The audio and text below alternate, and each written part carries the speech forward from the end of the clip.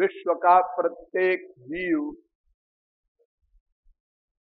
बिना किसी के सिखाए, पढ़ाए ही नेचुरल एकमात्र आनंद ही चाहता है। क्यों?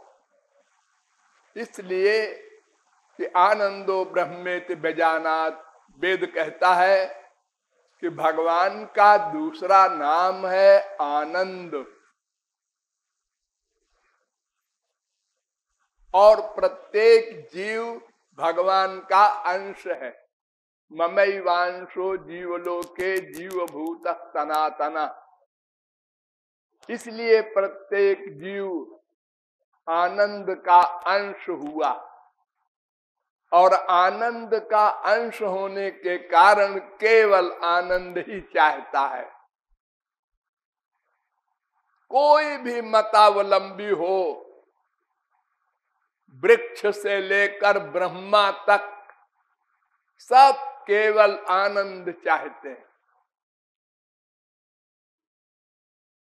और सब आनंद के दास हैं, सेवक हैं। जीवेर स्वरूप है कृष्णेर नित्य दास गौरांग महाप्रभु ने कहा कि प्रत्येक जीव श्री कृष्ण का दास है, क्योंकि आनंद का दास है। आनंद के लिए प्रतिक्षण हम लोग प्लानिंग, प्रैक्टिस करते रहते हैं। जितना संसार हम इकट्ठा करते हैं, केवल अपने आनंद के लिए। माँ से, बाप से, भाई से, स्त्री से, पति से, अनेक सामानों से अपना आनंद चाहते हैं। अपना, आत्मा का आनंद। केवल अपना आनंद सुर नर, मुनि सबकी यह रीति कोई हो। तो आनंद रूपी भगवान का अंश है जीव, इसलिए आनंद का दास है। इसलिए सेवा करता है प्रत्येक व्यक्ति अपनी अपनी सेवा। वो सेवा दो प्रकार की होती है। एक फ़िज़िकल एक स्पिरिचुअल अर्थात एक शरीर संबंधी, एक आत्मा संबंधी. बस, जो शरीर संबंधी ही सेवा करता है, वो बुद्धू है. और जो आत्मा संबंधी सेवा करता है, वो बुद्धिमान है. इतना सा अंतर है. सेवा सब कर रहे हैं। करना पड़ेगा। और कुछ कर ही नहीं सकते। क्योंकि हमको आनंद चाहिए। आनंद के लिए हम प्रयत्न करेंगे। अब बुद्धि ने जैसा कहा, यहाँ आनंद है, वहाँ भाग पड़े। फिर बुद्धि ने कहा, यहाँ नहीं है, यहाँ है। वहाँ भाग पड़े। बस आनंद के लिए हम भागते फिर रहे हैं। आत्मा का आनंद भगवान से ही मिलेगा। शरीर का आनंद संसार से ही मिलेगा। दोनों अलग अलग सब्जेक्ट हैं। आत्मा भगवान का अंश है इसलिए आत्मा का आनंद परमात्मा से मिलेगा। और शरीर माया का बना है और संसार माया का बना है। इसलिए शरीर का सब्जेक्ट संसार है। ये जो पाँच ज्ञानेन्द्रियाँ हैं, इनका जो सब्जेक्ट है, शब्द स्पर्श रूप रस गंध, हम यही तो चाहते हैं संसार से। लेकिन हम ये भूल जाते हैं कि हम शरीर नहीं है, आत्मा है। हम बोलते भी तो है, हमारा शरीर कमज़ोर हो गया, हमारा शरीर बूढ़ा हो गया, हमारा मन खराब हो रहा है, हमारी बुद्धि बिगड़ गई, ये सब हमारे हैं। जो हमारा है, वो हम नहीं हो सकता। ये तो हम का है ना, हमारा है। ये हम कौन है? जो हमारा ना हो, वो हम है। वो हम है आत्मा, जीव। जो शरीर छोड़ने के बाद जब चला जाता है तो हम इस शरीर को मिट्टी कह देते हैं।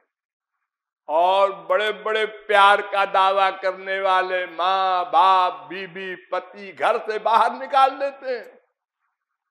ए, मर गया? हाँ बाहर बाहर। घर के बाहर ले जाओ, तुरंत। अब उसकी इंपॉर्टेंस ज़ीरो हो गई। तो वो जो निकल गया, वो आत्मा है, जीव है। उसका जो लक्ष्य है, वो भगवान की सेवा। तो आध्यात्मिक सेवा नंबर एक, संसार की सेवा नंबर दो। संसार की सेवा से संसार मिलेगा। भगवान की सेवा से भगवान मिलेंगे। अलग अलग सब्जेक्ट है दोनों। तीसरी कोई चीज़ नहीं। एक जीव, एक संसार, एक भगवान। तीन तत्व है अनाद्यनंत। तो जीव के लिए दो तत्व बचे, एक भगवान, एक माया, माने संसार। तो संसार ब्रह्मलोक तक है। स्वर्गलोक आप लोग नाम सुनते हैं ना? वहाँ भी माया है, वहाँ भी आत्मा का आनंद नहीं है। आत्मा का आनंद केवल श्री कृष्ण के पास है, भगवान के पास है। तो इस प्रकार सेवा भी दो प्रकार की हो गई। एक संसार की सेवा, एक भगवान संबंधी सेवा। और सेवा करना पड़ेगा सबको। कोई अपने शरीर संबंधी नातेदारों की सेवा करे, माँ की, बाप की, भाई की, बीबी की, बाल बच्चों की, और कोई भगवान संबंधी सेवा करे, करना पड़ेगा। तो इसमें एक बार ब्रह्मा के पास उनकी तीनों संतान गई। देव, मानव, दानव। और ब्रह्मा से कहा कि, पितामह जी, उपदेश दीजिए कुछ। तीनों बैठे थे। तो ब्रह्मा ने तीनों की ओर देखा और कहा, दा दा दा। और चले गए। हो गया लेक्चर। दा दा दा। अब देवता लोग मीटिंग करने लगे भाई ये पितामह जी ने दा कहा, क्या मतलब है इसका? और मनुष्यों ने भी विचार विमर्श किया, दानवों ने भी विचार विमर्श किया है दामा ने क्या? कहे पितामह जी से पूछे। तो उन्होंने कहा दाम्यत दत्त दयाध्वम। देवताओं से कहा कि तुम लोग इंद्रियों पर दमन करो। स्वर्ग में बहुत सुख होता है ना? तो सब देवता विषयी हो गए, भगवान को भूल गए। और मनुष्यों से कहा, देखो, तुम नंगे आए थे इस संसार में और शरीर भी धरा लिया जाएगा यहीं पर। निराकार जाओगे। तो तो यहाँ तुमको जो कुछ मिले, वो भगवान का मानो, अपना न मानो, दान करो दान करो। दत्त और दानों से कहा कि तुम लोग अपने स्वार्थ के लिए हिंसा करते हो, मर्डर करते हो। दया करो दया करो। नहीं, चौरासी लाख में घूमोगे। तो हम लोगों के लिए पितामह ने उपदेश दिया दान करो। तुलसीदास ने भी लिख दिया, प्रकट चारि पद धर्म के काली मह एक प्रधान, ये न के न विधि दान दीन दान कर कल्याण। दान से कल्याण होगा। जिसके पास धन है, वो दान करो। और धन सबके पास है। कोई बिल गेट्स है, कोई खाली करोड़पति है, कोई लखपति है, कोई हजारपति है। किसी के पास दस बीस पैसा है, भिखारी है है सबके पास। सब कपड़ा पहनते हैं, सब रोटी खाते हैं। तो कुछ न कुछ तो सबके पास है, उसी में से अंश का दान करो। गरीब का एक पैसा अमीर के एक अरब के बराबर है। भगवान के यहाँ संख्या नहीं देखी जाती। ये देखा जाता है कि तुम्हारे पास कितना है टोटल दस करोड़। दान कितना किया? सौ रुपया। अच्छा इतने मक्कार। हो बाकी का क्या हुआ? वो नाती पोता के लिए छोड़ के मर गए। वो और आवारा हो जाएँगे जिनको छोड़ के तुम मर गए हो। क्योंकि उनको पका पकाया मिलेगा। तो वो क्यों मनुष्य बने रहेंगे? तो दत्त बार बार उपदेश करते हैं।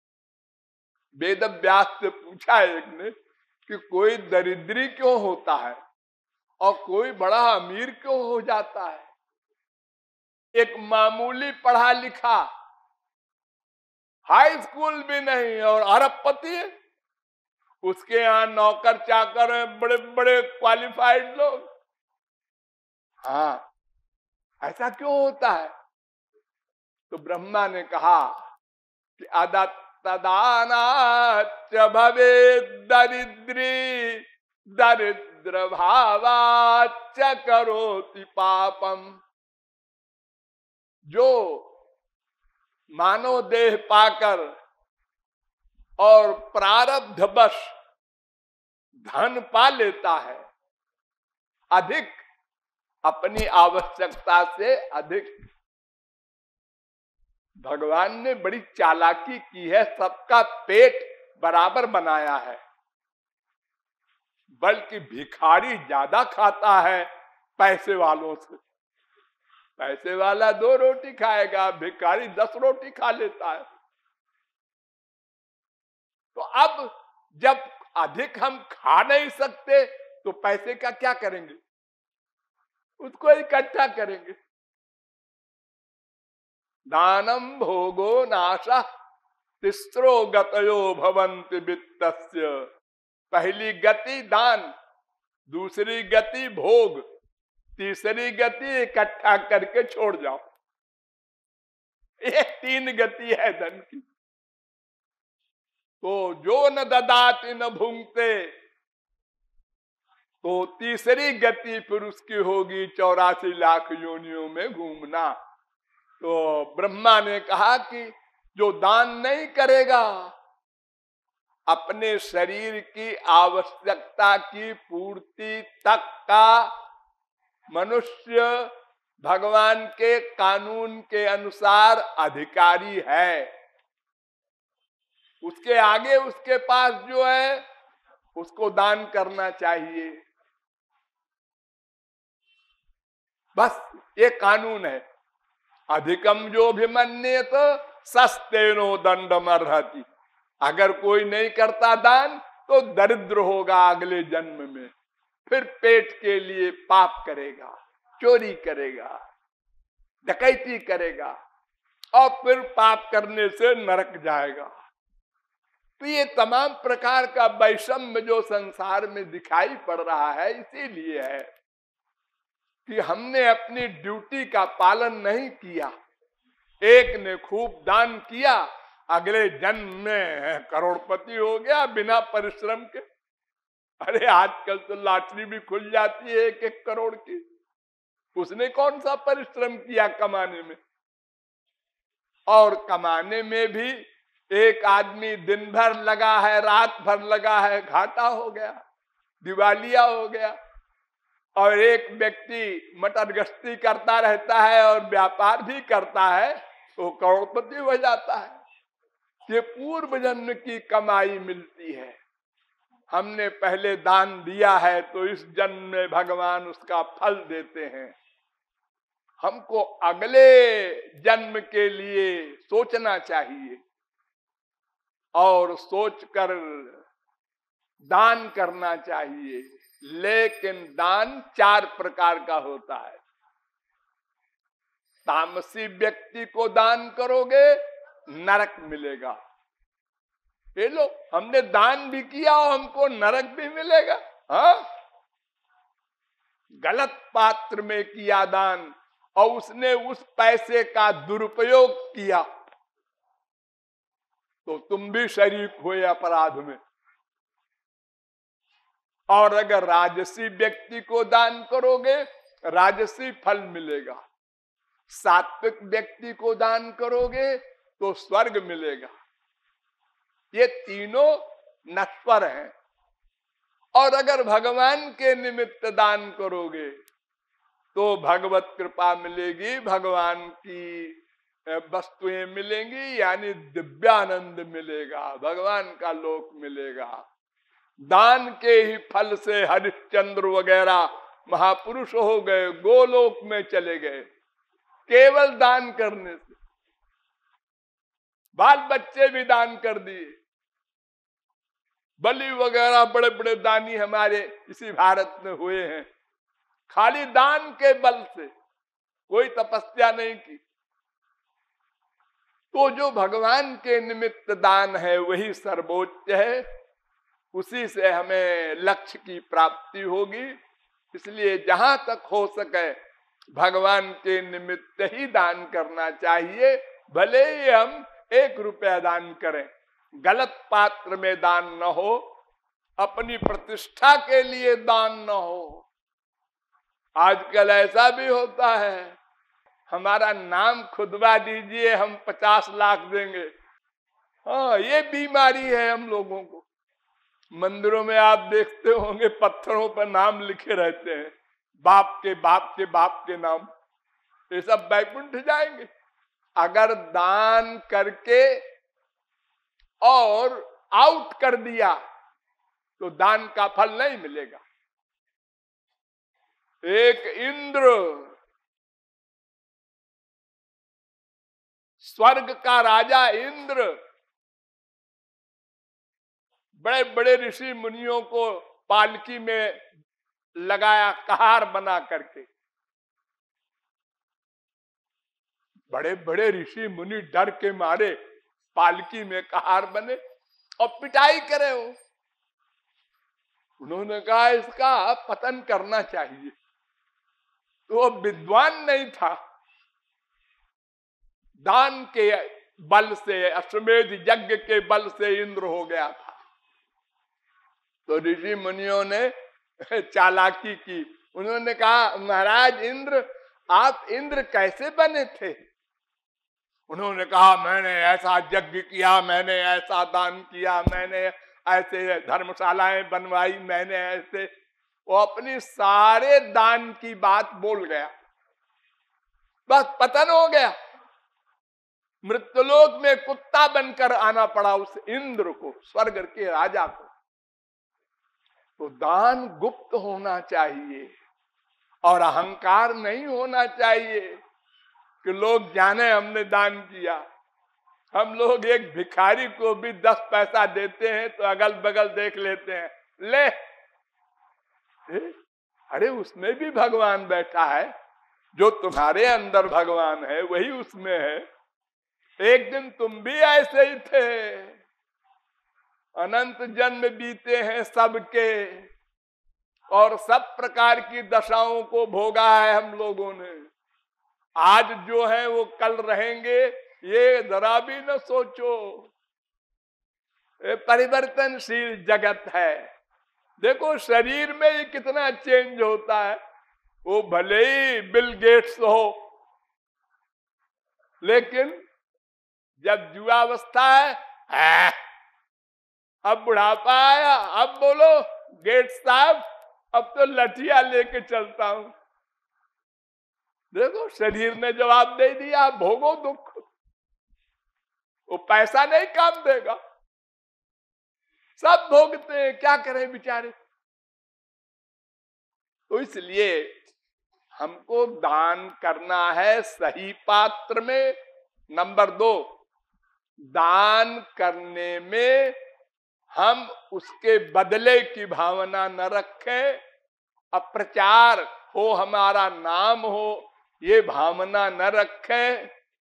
जहाँ तक हो छुपा करके दान करें वो फिर दान का महत्व अंतकरण की शुद्धि होगी और फिर भगवत कृपा होगी और फिर मरने के बाद हमको आनंद प्राप्ति होगी। इसलिए बहुत बुद्धिमत्ता पूर्वक दान करना चाहिए और दान अवश्य करना चाहिए। नहीं करोगे, सीधे तो टेढ़े करना होगा। शरीर छोड़ना है हाँ। अब जाओ तुम। अरे तो ये हमारा सब कुछ बनाया हुआ अरे जाओ जाओ बनाया हुआ तुम्हारा। छोड़ जाओ। अजी, मैंने बड़ी गाड़ी कमाई से ये हवेली खड़ी की है। हाँ हाँ ठीक है। मालूम है ये दुनिया भगवान की है? हाँ तो किसी की ज़मीन में बिल्डिंग खड़ी करना। तो गलत है ना? हाँ तुमने कर दिया अच्छा है। ये तुम ले नहीं जा सकते। इसके बनाने में कोई मक्कारी तो नहीं की? नहीं की है तो उसका दंड अलग भोगो। और बिल्डिंग छोड़ जाओ। भगवान का ऐसा कानून है तो हम लोगों को बहुत सावधान रहना चाहिए। खास तौर से पैसे वाले लोग, उनसे बहुत गलतियाँ हो जाती हैं, अपराध हो जाते हैं, अहंकार के कारण गरीबों को कष्ट दे देते हैं। किसी का अपमान कर दिया, किसी को दुख दिया तो समझ करके संसार में रहना है, सब में भगवान को मान करके और नम्रता पूर्वक मानवता जिसे कहते हैं, उसका पालन करना चाहिए। ऐसे दान से हमको मरने के बाद भगवान की कृपा प्राप्त होगी और हम फिर अगले जन्म में अगर कुछ कमी रह गई तो थोड़ी साधना करके भगवत प्राप्ति कर लेंगे। आप लोगों को मैं धन्यवाद दू।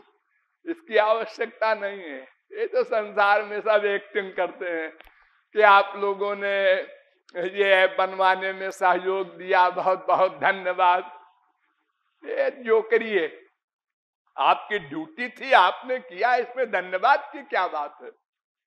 अरे आप भगवान के दास हैं। भगवान का ये मकान है। आप लोगों ने अपनी अपनी ड्यूटी करके सेवा किया, करना ही चाहिए। इसमें अहंकार की बात नहीं है हाँ साहब, मैंने किया। और करना चाहिए, और अधिक परमार्थ की भावना बनाना है, और आगे बढ़ना है भगवान के पास। तभी तो हम एक दिन भगवत प्राप्ति करेंगे। शेष फिर।